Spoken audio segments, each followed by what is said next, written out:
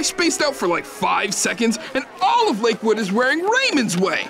The trend took over so fast, nobody even bothered taking the little plastic tags off. What a bogus fad. I know, right? It's my nightmare. You don't like Rayway, Drupe?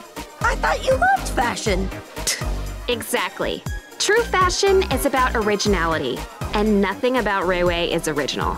Yeah, that's what I hate about it. I know, it's just a dumb brand name. Ever since their store opened up, the whole town's been turned to fashion zombies.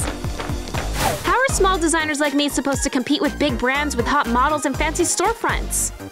Well, it's not as fancy, but we can sell your clothes here at Gars. And if it's a model you need, it just so happens that the hottest guy in town is available. But Raymond's already wearing Rayway. Oh, sorry! You mean you! I get it now. Go on.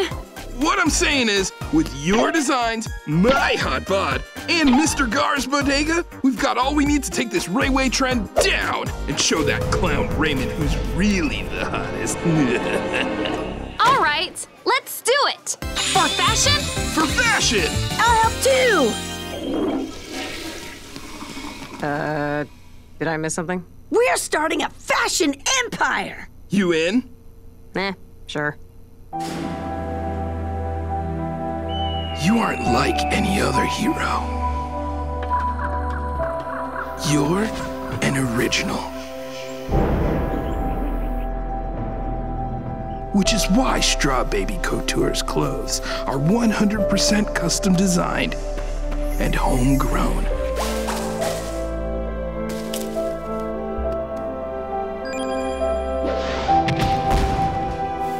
Straw Baby Couture.